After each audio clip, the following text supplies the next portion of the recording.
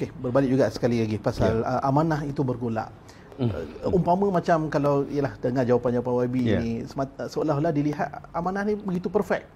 Nampak sempurna macam betul ke tak ada pergolakan ni YB? Yeah. Atau kalaulah sekiranya benarlah mm. uh, pandangan-pandangan di luar sana mengatakan persepsi mengatakan amanah ni bergolak. Mm. Jadi apakah langkah yang sebenarnya yang pimpinan eh, orang macam YB ini lakukan hmm. untuk memperkukuhkan balik amanah ini hmm. dan akhirnya Pakatan Harapan? Saya saya rasa dalam soal ini uh, cakap tu uh, mudah, semua orang boleh cakap. Uh, lalu kita tengoklah. Uh, ia ianya dibuktikan ya. dengan uh, tindakan kita sendiri. Hmm. Uh, dan setakat ini apa yang dikatakan bahawa kita ni akan tinggalkan uh, Pakatan Harapan, ketepikan keadilan untuk bersama hmm. dengan pejuang hmm. uh, adalah uh, rubbish ya.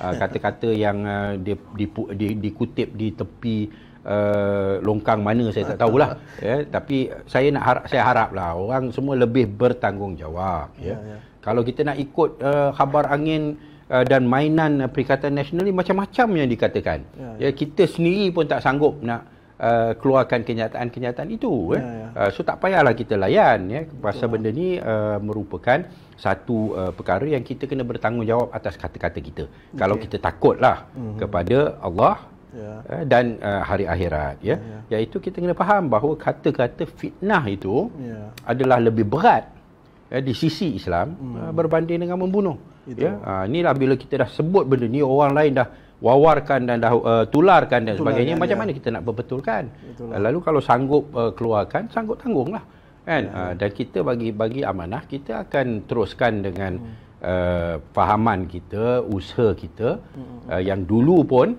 uh, dalam amanah pimpinan amanah semua hmm. dituduh oh Anwar Rinas itu ya, oh ya. kerana apa sokong Anwar sangatlah ya pada ya. zaman kita dalam PAS ha, ha, ha. ya kerana apa kerana dia tak faham orang-orang yang anu tak faham bahawa sebenarnya uh, kita kena jujur kita kena jujur yeah. dalam persahabatan yeah. ya dengan kerjasama mm. dalam soal nak membina kesatuan kita yeah. kena jujur ya jangan kita orang anu uh, kita kita gelakkanlah kita pelikihkan sedangkan kita nak dia bersama kita betul, betul. kan lalu yeah. macam mana dia akan bersama kita kalau kita gelakkan dia yeah, yeah. kan dan sebagainya ya uh, lalu dalam uh, sikap yang ditunjukkan oleh pemimpin-pemimpin amanah mm. adalah sama sikap semasa kami berada dalam PAS. Ya, ya. Kejujuran kita berpakat dengan uh, keadilan ya, ya. yang pada ketika itu dilihat sebagai parti yang baru nak mula, yang hmm. tak ada uh, cawangan, tak ada hmm, cabang, hmm, tak ada apa lagi. Ya. Uh, tapi kita sokong. Uh, seperti mana yang kita sekarang ni, kita akan sokong. Siapa uh, yang nak lawan hmm. Perikatan Nasional. Itu. Uh, itu pandangan amanah. Itulah. Dan dari segi itu kita konsisten ya. dan kita istiqamah. Istiqamah. Tapi itulah malangnya orang-orang yang ingin mencari konten politik ni ha, secara harian ni nak bercakap kan propaganda propaganda propaganda murahan apa nak buat itulah. mungkin itulah yang anu tapi uh, biarlah tu orang ni. nilai sendirilah ha ya? yalah tapi bagi amanah uh, you want to say what you want to say you say lah say lah uh, tapi kita akan terus dengan pendekatan kita yang telah kita amalkan daripada zaman kita berada dalam PAS dulu ya. uh, dan sekarang ni kita akan amalkan ya, ya. suka tak suka tu nasib lah Betul. kan uh, tapi itulah yang kita yakin yang terbaik ya, ya. Uh, kalau nak uh, berhujah hmm. dan kata oh lebih baik kita bergaduh dengan warisan lebih baik kita bergaduh dengan tun hmm. uh, hujahkanlah ya. uh, tunjuklah hujahnya Tunjuk apa hujah. untungnya kan Ha, tapi janganlah fitnah kita. Ya, ya. Kan? Ha. Fitnah lain, nak hujah lain. Ya? Ha, kalau kalau berani nak berhujah, hujahlah. Ya. Ha, tapi jangan fitnah. Ya?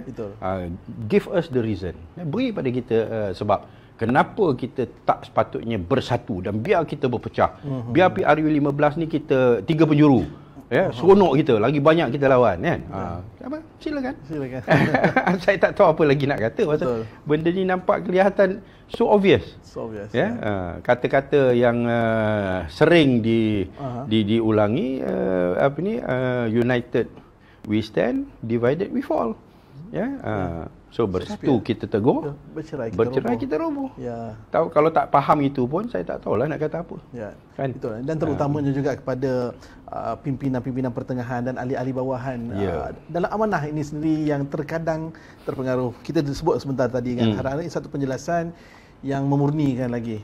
Saya pun menyebut tentang mereka-mereka yang begitu idealistik. Ha, tetapi tidak berpijak pada realiti, realiti. semasa. Hmm. Saya nak pesanlah pada semua ahli-ahli amanah uh, biar kita pegang kepada satu uh, prinsip di mana kita tidak mengikut emosi ya dan biar kita rasional ya, ya dalam tindakan kita. Uh-huh. Strategi yang telah di uh, uh, kenal pasti uh, bagi saya lah okay. uh, dan pimpinan amanah uh, adalah uh, yang terbaik. Yeah. Iaitu kita cuba kukuhkan pembangkang dengan kita satukannya. Uh-huh.